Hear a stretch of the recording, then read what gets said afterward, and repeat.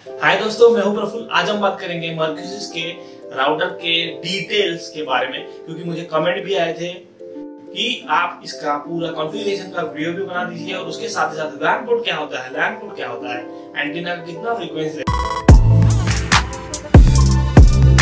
ये सभी चीज़ें देख के आपके लिए कौन सा राइट राउटर रहेगा? तो दोस्तों, जैसे कि आपने जो रिक्वायरमेंट मांगी थी कि इसका भी डिटेल में आप बताइए। तो जैसे कि हम बात करेंगे इसकी तो ये बहुत ही अच्छा है लाइट वेट है। इसमें आप अगर लाइट देखेंगे तो यहाँ पे आपको क्लियरली दिख जाएगा। यहाँ पे देखिए, ऐसा एस वाई एस करके लाइट है, एक वाईफाई का लाइट है वैन का और लैन का। तो इसके बारे में जानेंगे क्या है किस तरह से लाइट होता है और उसका क्या क्या यूज़ होता है। और ये है हमारे पास है चार antennas one two three and four antenna है, उसकी एक फ्रिक्वेंसी रहती है five D B ten D B eight D B तो उसके हिसाब से वो तो मैं आपको डिटेल में बता दूँगा क्या है एग्जैक्ट इसका फ्रिक्वेंसी तो मैंने जैसे कि बोला था फाइव डी तक इसका कुछ फ्रिक्वेंसी है और दूसरा है उसका कुछ उससे ज़्यादा है, वो भी एग्जैक्ट बोलूँगा मैं क्या है। और अगर हम बात करेंगे इसके पीछे की कनेक्टिविटी क्या है, किस तरह से रहती है इसकी। तो देखिए, मैंने अभी ये कनेक्ट किया है तो यहाँ पे भी आपको पीछे चार पोर्ट मिलेंगे। एक तो ये पावर का है, यहाँ पे। फिर ये डब्ल्यू बटन है। दिखेगा आपको डब्ल्यू पी एस रिसेट करके बटन है। इसका भी आपको यूज़ में बताऊँगा क्या है। ये है अपना लैन केबल ठीक है? ये इनपुट है। और उसके बाद ये आउटपुट के ये लैन पोर्ट रहते हैं। तो उसका भी मैं डिटेल बताऊँगा आपको क्या है। पहले तो हम पोर्ट देखेंगे क्या क्या है, कहाँ कहाँ लगते हैं। तो इसको अब हम करेंगे। ये देखिए, अभी है, ये ऑफ़ है। लाइट आपको कुछ नहीं दिख रही होगी। लाइट्स देखो, कुछ भी नहीं है। जैसे ही मैं इसको प्लग करूँ तो यहाँ पे देखिए ये प्लग करना है, यहाँ पे। तो मैं आपको प्लग करके दिखाता हूँ। जैसे ही मैं प्लग करूँगा, देखिए सिस मतलब ये जो सिस्टम है, ये चालू हो गया है। एंटीना इसके साथ है, इसका वायरलेस जो वैन है वैन का नेटवर्क चालू हो जाता है।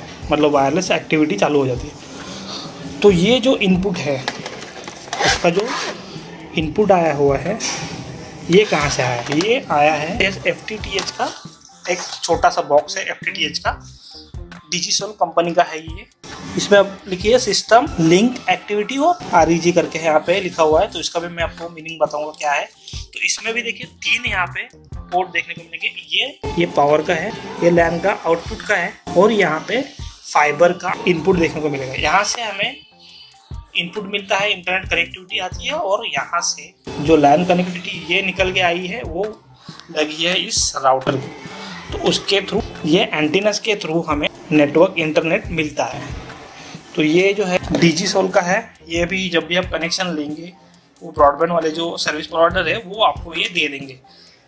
इसकी ज़रूरत क्यों होती है? कुछ कुछ जो राउटर है, अभी ये जो राउटर है, इसमें एफ़ का पोर्ट यहाँ पे, ये जो पोर्ट है, ये नहीं है। इसके वजह से ये आपको वहाँ पे लेना होता है। वॉल पे माउंट कर सकते हैं। और अगर हम बात करेंगे राउटर की तो यहाँ पे अनबॉक्स किया है मैंने, उसमें भी मैंने बता दिया है। यहाँ पे आपको ऊपर माउंट कर सकते हैं। और ये जो एंटीनाज है, वो मूवेबल है। मतलब जिस साइड में आप बैठेंगे फॉर एग्ज़ाम्पल मैं इस साइड में बैठूँगा, पीछे के साइड में तो ये मैं एंटीना ये मैं सीधा रख दिया तो और एंटीना में यहाँ पे मोड़ सकता हूँ। यानी कि इसके थ्रू जो सिग्नल आता है वो आपके फ़ोन या फिर लैपटॉप, टैबलेट, जो भी है, उसको कैच करके जितना ही आप उसी डायरेक्शन पे करेंगे, उतना आपको अच्छा नेटवर्क कवरेज मिलेगा, सिग्नल मिलेगा और उसके थ्रू आप इंटरनेट का कनेक्टिविटी या फिर इंटरनेट यूज़ कर सकते हैं। दोस्तों, ये जो ब्लिंक हो रहा है, ये जो लाइट है, ये ब्लिंक हो रहा है आरजी वाला। ये जो लाइट ब्लिंक हो रहा है रेड में तो अगर ये रेड में ब्लिंक हो रहा है तो इसका मतलब है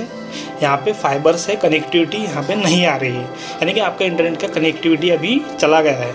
जब भी ये ग्रीन ब्लिंक होता रहेगा तो इसका मतलब आपका कनेक्टिविटी यहाँ पे चालू है। उसके बाद ही आप प्रॉपरली इंटरनेट यूज़ कर सकते हैं। जब लाइट नहीं रहेगी तो इस तरह से आपको वो देखने को मिल जाता है। तो तुरंत समझ में आ जाएगा कि कुछ इशू है, यहाँ पे रेड है। रेड मैक्सिमम एक तो आपका फाइबर का इशू रहेगा तो ही आ जाता है। वरना ये यहाँ पे ऐसा देखने को नहीं मिलता। और कभी कभी येलो आता है। येलो का मतलब है तो इसका मतलब कि फाइबर में कुछ इशू नहीं है फाइबर कनेक्शन के लाइन में। खाली कुछ इशू है जो भी है सर्विस प्रोवाइडर के यहाँ पे है। कुछ डाउन हो गया सर्वर डाउन हो गया तो इसकी वजह से आपके यहाँ पे नहीं मिलेगा। लेकिन रेड है तो इसका मतलब है, अगर आपका यहाँ पे कनेक्टिविटी का यहाँ पे कुछ इश्यू रहेगा फाइबर का, या फिर फाइबर कहीं पे कट होगा। तो दोस्तों, पहले तो हमें एक वेब पेज पे जाना है, जिसमें पहले तो आपका राउटर यहाँ पे कनेक्ट रहना चाहिए। वाईफाई यहाँ पे कनेक्ट होना चाहिए, जैसे कि मैंने ये कनेक्ट करके रखा हुआ है।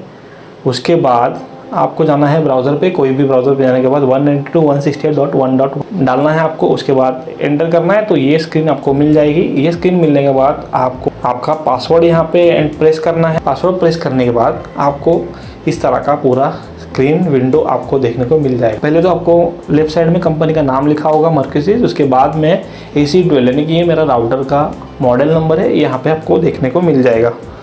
उसके बाद लेफ़्ट साइड में आपको डिवाइस मैनेजमेंट कनेक्टेड डिवाइस कौन से है, वो यहाँ पे मिल जाएँगे। नेटवर्क कनेक्शन टाइप जो है ट्रिपल पी ओ करके है। वायरलेस जो है, यहाँ पे 2.4 गीगाहर्ट्ज का एक आपका आईडी बनेगा और 5 गीगाहर्ट्ज का एक आईडी बनेगा, जो कि मैंने अभी कनेक्ट किया है, वो 5 गीगाहर्ट्ज का है।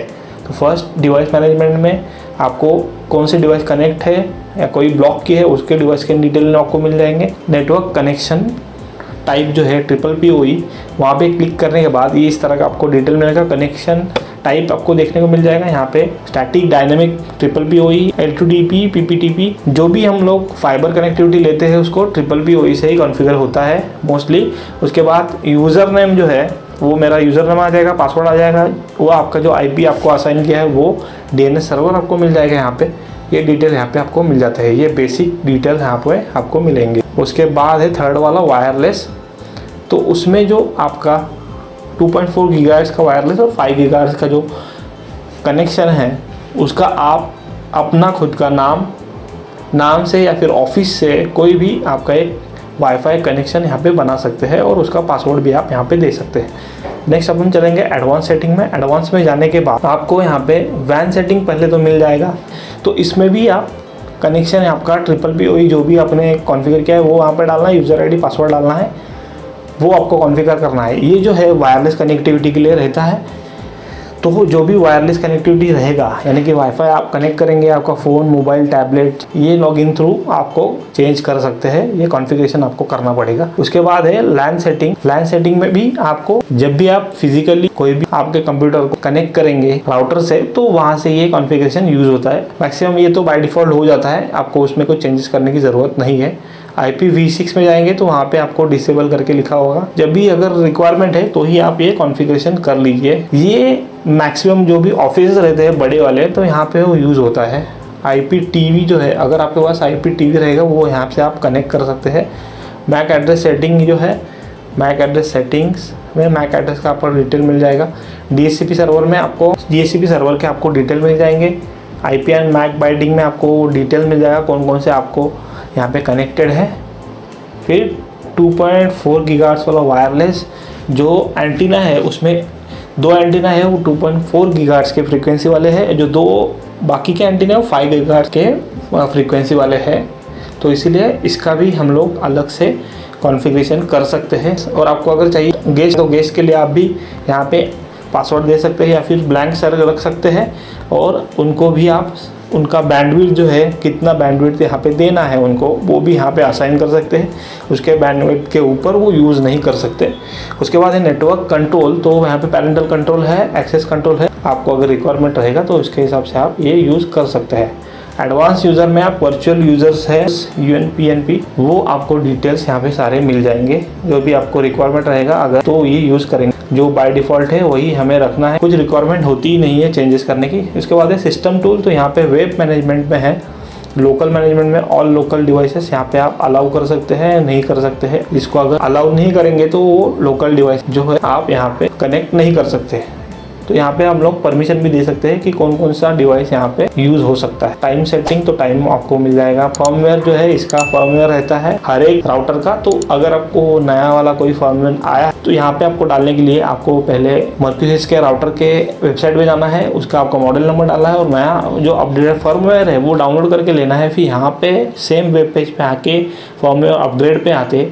ब्राउज करके आपको वहाँ पे वो फ़ाइल सिलेक्ट करनी है और अपग्रेड कर देना है अपग्रेड होने के बाद ऑटोमेटिक रिस्टार्ट हो जाएगा और आपका फर्मवेयर वहाँ पे अप्लाई हो जाएगा। रिस्टोर है बैकअप में आप, आपका जो सेटिंग जो किया है वो आप बैकअप कर सकते हैं। रिबूट में आप पूरा रिबूट कर सकते हैं। चेंज लॉगिन पासवर्ड है यहाँ पे। आपका जो लॉगिन पासवर्ड है, जब फ़र्स्ट पेज ओपन होता है तो वो पासवर्ड है, वो आप यहाँ पे चेंज कर सकते हैं। आप ये यहाँ पे आपके सिक्योरिटी के लिए चेंज कर सकते हैं। डायग्नोस्टिक टूल में यहाँ पे बहुत सारे ऑप्शन यहाँ पे दिए हैं।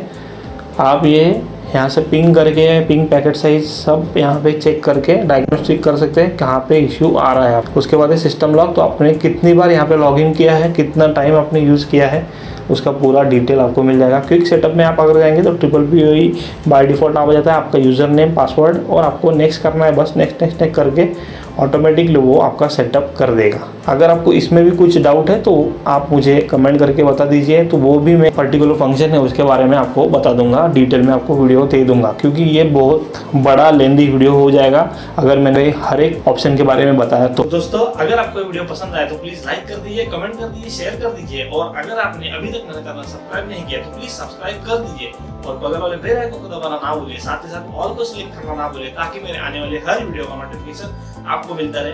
Thank you